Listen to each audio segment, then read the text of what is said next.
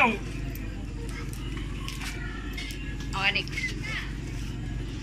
Tikot pa.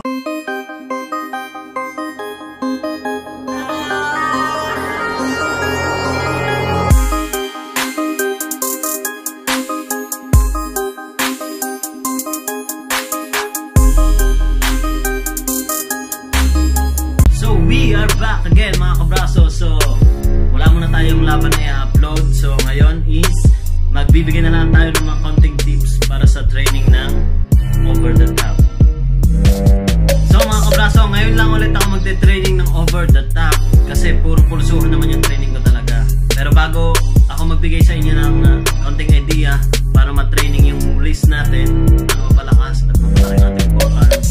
Uh, shout out muna kay Sean, kay bro. Ah, bro, shout out sa'yo. Ah, si Sean Chispa ng R Nation.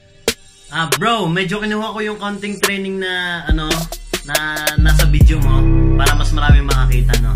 Ah, salamat sa iyo.